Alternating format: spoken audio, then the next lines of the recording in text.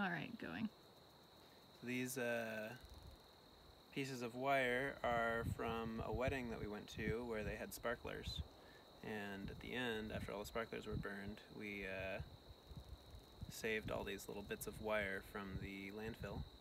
And then we got this uh, roll of survey tape flagging um, off the free shelf here at Wheaton Labs.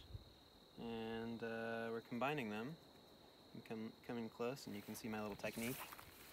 Uh, I take the top of the wire and I bend it over and around.